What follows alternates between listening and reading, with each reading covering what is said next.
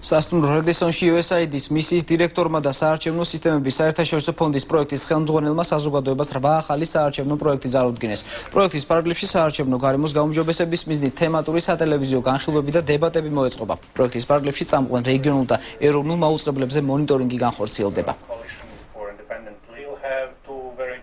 ამ გრანტების მიზანია მეტი ინფორმაცია მიეწოდოს ამომრჩეველს, საზოგადოებას, ხელისუფლებას და რაც უფრო მეტი ინფორმაცია იქნება მიწოდებული, შესაბამისად ეს ხელშეუწყობს ნდობის ამაღლებას არჩევნებისადმი.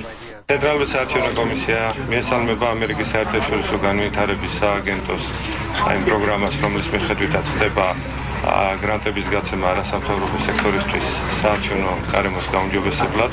ვფიქრობთ, რომ ეს ძალიან მნიშვნელოვანია იმისათვის, რომ გაიზარდოს თობა ამორჩევლების მხრიდან და ჩვენი მხრივ ჩვენი მხრიდან თავისთავად იქნება დიდი მხარდაჭერა ამ პროექტის